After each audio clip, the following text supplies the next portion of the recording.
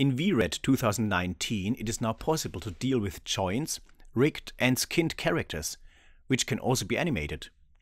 This is very useful for getting a character into a car.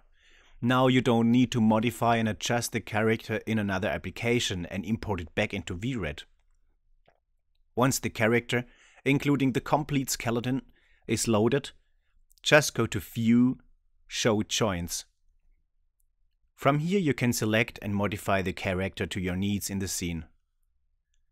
In this example, the character is adjusted to fit into the seat position. Another use case and workflow improvement is importing existing animated characters into a scene. In the city scene, for example, you can see the animated people filling the scene.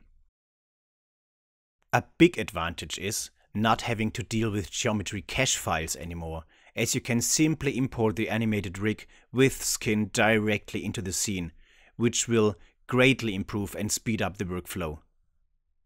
Thanks for watching the video.